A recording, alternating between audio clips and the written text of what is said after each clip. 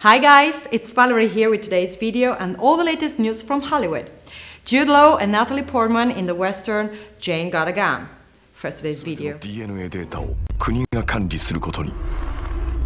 そのデータはプラチナデータと呼ばれた DNA 捜査システムの報告をさせていただきます DNA プロファイリングの結果被疑者の性別は血液型は O 型 RH プラス DNA 操作システムの導入により検挙率100%冤罪率0%の社会が誕生した。DNA が事件を解決していく。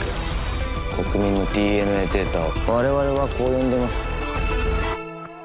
プラチナデータ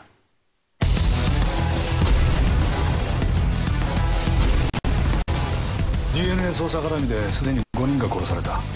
立科兄弟と最後に会っていたのはお前だよ。彼は天才科学者だった。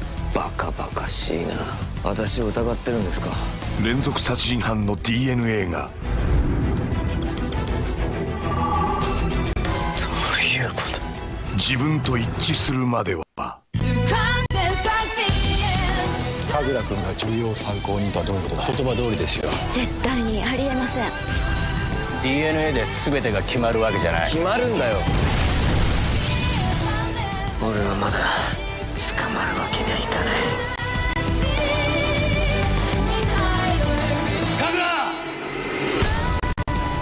プラチナデータ Jude Law will play the villain and Natalie Portman the heroine in the upcoming western Jane Got a Gun. The film tells the story of a woman, Portman, whose criminal husband returns home on the verge of death and covered in bullet wounds. Mm.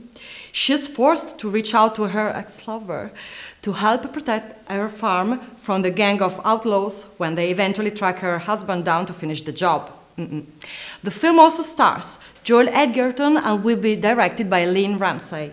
Shooting is scheduled to begin in April. That's all for today. Like us on Facebook and see you next time.